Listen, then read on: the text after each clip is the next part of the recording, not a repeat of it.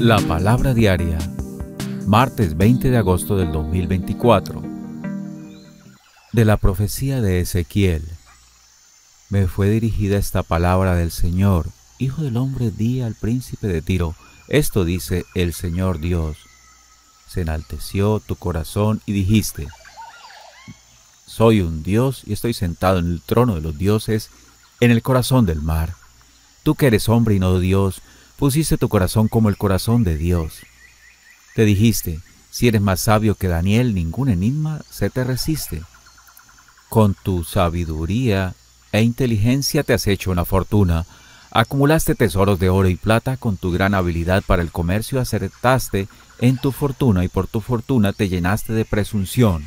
Por eso, así dice el Señor Dios, por haber puesto tu corazón como el corazón de Dios, por eso haré venir contra ti extranjeros, los más feroces de entre los pueblos.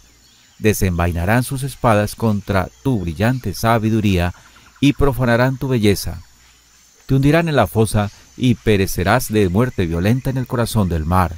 Podrás seguir diciendo delante de tus verdugos, ¿soy un dios? Serás un hombre y no un dios. En mano de los que te apuñalen morirás con muerte de incircunciso, a manos de gentes extrañas, porque lo he dicho yo, oráculo del Señor. Palabra de Dios. Yo doy la muerte y la vida. Me dije, los aniquilaría y borraría su memoria entre los hombres si no temiese las burlas del enemigo y la mala interpretación del adversario. Yo doy la muerte y la vida. No sea que digan, nuestra mano ha vencido. No es el Señor quien ha hecho todo esto, porque es gente que ha perdido el juicio y que carece de inteligencia. Yo doy la muerte y la vida. Del Santo Evangelio según San Mateo, en aquel tiempo Jesús dijo a sus discípulos, En verdad os digo que difícilmente entrará un rico en el reino de los cielos.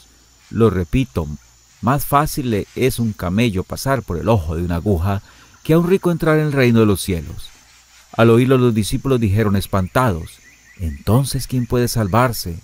Jesús se les quedó mirando y le dijo, Es imposible para los hombres, pero Dios lo puede todo. Entonces dijo Pedro a Jesús, Ya ves, nosotros lo hemos dejado todo y te hemos seguido. ¿Qué nos va a tocar? Jesús les dijo, En verdad os digo, cuando llegue la renovación el Hijo del Hombre se siente en el trono de su gloria, también vosotros, los que me habéis seguido, os sentaréis en doce tronos para juzgar a las doce tribus de Israel.